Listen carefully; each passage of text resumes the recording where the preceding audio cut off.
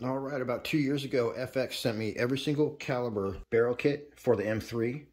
Fortunately, those same parts fit the M4, so I'm finally going to open that box and we're going to do the M4 series where we go through every single caliber and tune for the most popular pellets. So in real time, I'm going to show you guys my brand new M4 that I just pulled out of the box with the factory tune, which is 90 on the regulator, 2.5 on the micro wheel. It starts you out at 16 on the macro wheel and if you watched my M4 tuning video, you know why that is.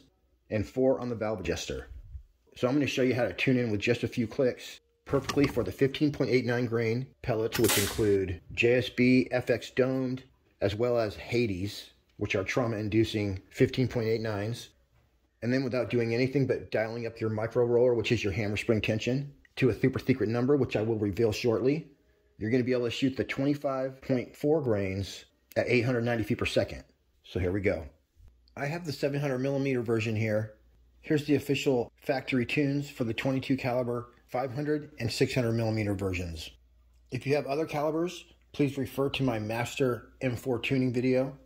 The last half of that video discusses advanced tuning. So all these tunes are starting points. And if you do an advanced tune from there, you'll be able to get your best accuracy. Actually, what I might want to do put that to 8. Now go to my 2.5 right here. And now I can go down four notches to shoot the 15.9 grains. Or I could go, let's see how many notches up. Two, three, four, five, six. Ooh, 16 almost gets me ooh, to 3.5. So that's what happens when you go too far. So that gets me almost all the way to my tune, I want to be at 3.5, so I just go like that, and I'm there. So that's pretty quick. Watch this. I'm going to go down to 18. I'm going to go put this on 8. Now I'm at 18 grain. Four notches down. Bam. Now I'm at 15 grain.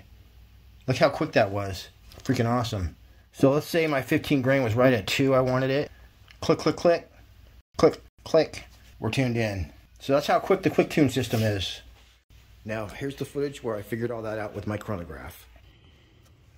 Alright guys, my $89 Halo XL50 rangefinder may not work in the fog. Well, let's see.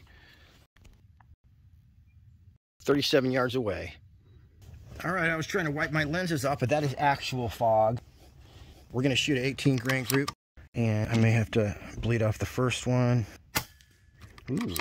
Oh, that thing's quiet. I'm going to have a change in my point of impact with my LDC right there. Yeah, we got to catch up to speed here. Yep, there we are. So we're going 890. Let's see where we're hitting. Duplicate, baby.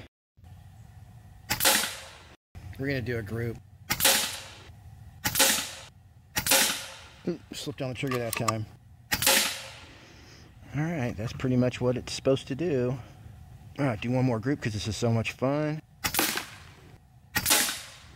Yeah, I'm not liking this LDC business. Eh, maybe it's okay.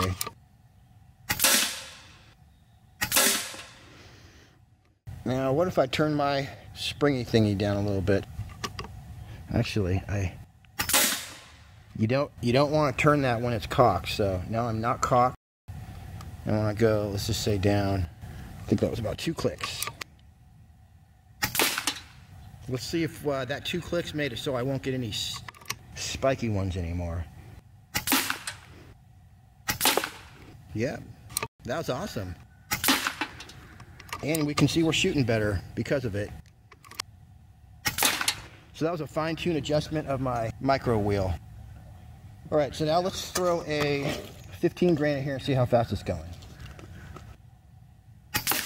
950, yikes. But look at how it's shooting. Let's do a group at 950.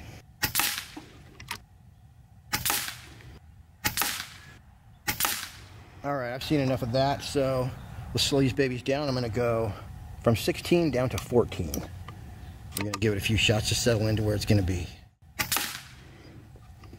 928, 927. I'm gonna give it one more click. Yeah, that's more like it.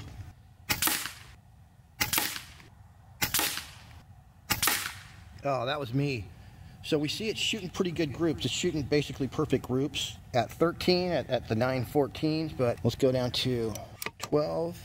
Let's get this going around 900. Yeah, this is what we want.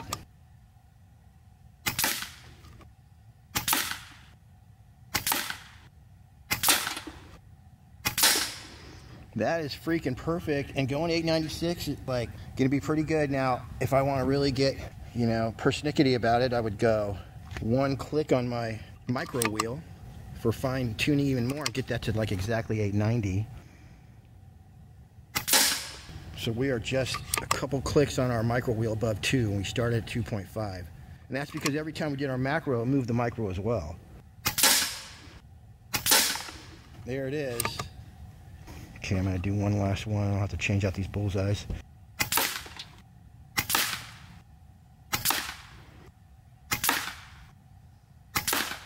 All right, you guys, I just tuned perfectly for the, well, almost. You would just mess with it a little bit from there, you know, let your hammer spring kind of, takes a few shots for your hammer spring to settle where it's gonna be. So that's pretty darn close. Now, let's see if we can turn it up. So with the rifle uncocked, I'm just gonna sit here and we're gonna go back to 16 and I'm gonna go up by going one, two, three. So three notches up from 16. We're gonna put some heavies in there see how, how they did. All right, you guys, things got crazy when I tried to click my macro wheel. So I just put myself back to the 18 grain tune, which that's where it was at. So shooting pretty high. All right, so we're gonna go up from here. First of all, let's just see with our 18 grain tune what we're shooting at 25 we definitely want to go up. We'll see what happens when we go from on my micro wheel. I don't want to mess with my macro because it got all crazy. Let's go up to three and a half there. And I got to take a few shots. That was easy, except we could shoot these up to 920 feet per second.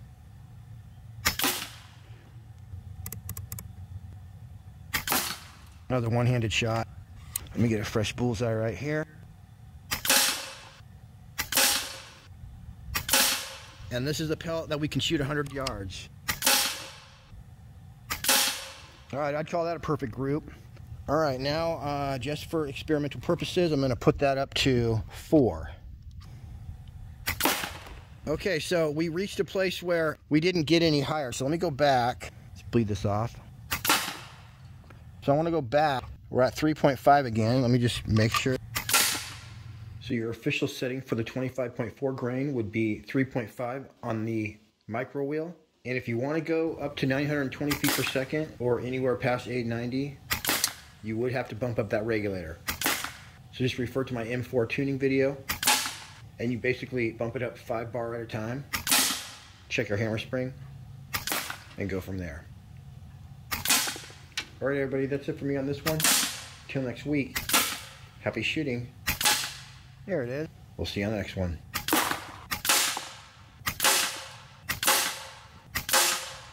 Look at that, you guys. That's a perfect group right there.